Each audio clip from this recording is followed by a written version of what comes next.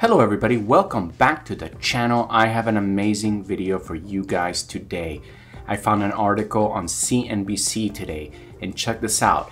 GDP fell 0.9% in the second quarter, the second straight decline and the strong recession signal. This is crazy and what will this do to the housing market? Well, I can tell you it's not going to be good. If we jump over to the Redfin weekly housing market data charts, we are so basically I am only highlighting 2019 and 2022 because 2020 and 2021 were kind of like nutty. So this is like 2019 was somewhat normal year. But check this out. So uh, as far as new listings, we are in line. Okay, we are in line with the average, more or less. Now, when you go to homes sold, again, we're still on the we're in the in the right peak. We're like normal if you consider 2019 as a standard. But look at this, the year to year, look at that drop, okay? So this is kind of a big deal.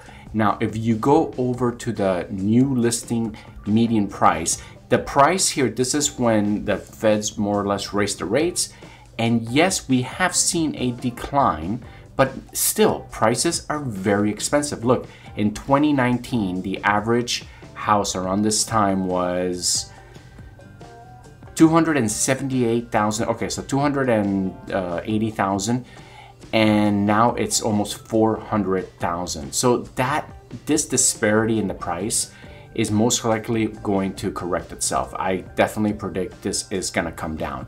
Because look, okay, at the end of the day, when you read headlines like this, GDP GDP falls 0.9%, it's bad, guys. Now, it's not just like that it fell, is that we didn't even think it was to fall that much. Check this out. That um, gross domestic product, product fell 0.9% at an annualized pace for the period, according to the advanced estimate. That follows a 1.6 decline in the first quarter and was worse than the Dow Jones estimate for a gain of 0.03. This is the problem that I see is that the Dow Jones thought that it was going to be a gain of three, and, and but that didn't happen. We ended up having a 0.9% uh, fall. So that is the problem because now you're gonna probably most likely see the Dow like you know start to go down because it's worse than than we thought, right? The drop came from a broad swath of factors, including decrease in inventory, residential and non-residential investment as gov- and government spending. So we're spending a ton, guys but we are not making that tax revenue to pay for what we're, we're spending. And the economy, unfortunately, looks like it's slowing down. Let me take some quotes here. Check this out. We're not, uh, we're not in a recession, but clearly the economy growth is slowing. The economy is close to tall speed moving forward, but barely. This is, this is definitely going to impact the housing market a lot I believe. And this is this is going to start this is the beginning.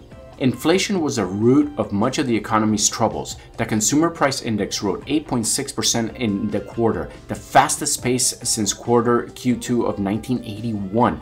That resulted in a decline of inflation adjusted after tax personal income of 0.5%, while the personal savings rate was 5.2%, down from 5.6% in the first quarter. So that's kind of a big deal.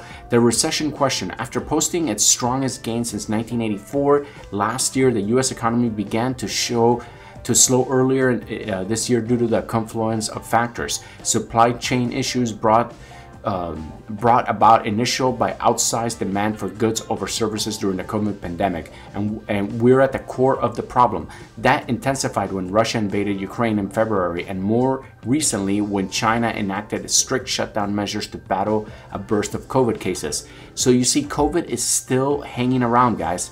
The the fact that we shut down the economy for you know one basically one year, uh, you know, or six months out of one year for the most part it that is going to have such a ripple effect for the next 10, right? Because at the what ended up happening at the end of the day is that government printed way too much money to keep the economy afloat and now we're going to pay for it pretty pretty hard. Recently, economic data here, another quote, recent economic uh, data may not paint a consistent picture, but second consecutive negative uh, quarter for the GDP provides further evidence that at best, the economy momentum continued its marked slowdown. The path for the Fed to raise interest rates without pushing the economy into recession has become exceptionally narrow. There are now growing possibilities that it may have already closed. So basically, it looks like we're going into a, a, a dark time. The economy is going to slow down.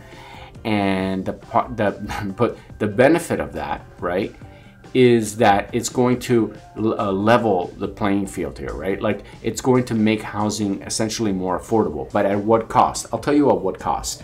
The cost is going to be possibly uh, layoffs, right? There's probably going to be some layoffs. Uh, there's going to be just people making less money, right? There's going to be probably small businesses, some of them going out of business. And it's an awful thing, but not everybody will get laid off. The people that have some money saved, right? The people that are saving, the people that um, are going to hopefully have a strong job and it continues to be strong during the recession, those are the people that are most likely going to have the best, best advantages in acquiring properties. Because when this comes down, guys, you know, again, you have to you have to make sure that you have all your ducks in a row, right? At the end of the day, you have to have everything ready to go when the time is right. You know, I know uh, I have a friend of mine who who has a great job, has it has had it for many many years, and, but yet he's still renting. And I tell him every time, like, dude, come on. And then what happens is he doesn't buy it when it crashes. And then as it's going up, he's like, oh, I missed it. It's already too expensive. So he's always kind of putting roadblocks there. So, you know, so basically you have to take the plunge. If you if you don't already own a house, you know, it is possibly the best way to build wealth, family wealth, and it's gonna be a lot of security for your future. But you have to make sure you could make that mortgage payment and you have to make sure that you know you're always basically bringing in money to pay for that, right? So that is that's the big thing right now is saving and getting ready because I think that this line is going to come way down and it's going to be the prices will be cheaper than 2019 so i could see this crashing pretty hard. So get ready guys. It's going to be very a roller coaster in 2022 the end of 2022 going into 2023 we're going to see major major changes. Now stick with me okay I'm gonna make sure you get all the latest data so you make the best financial decision. Now remember, I make these videos for entertainment purposes only, but I love the market, I love learning about it, and I love talking to you about it. Now, I love you guys watching. If you guys do enjoy these videos, don't forget to smash that subscribe button and go ahead and like and leave a comment. Thank you guys so much for watching, and I'll see you on the next video.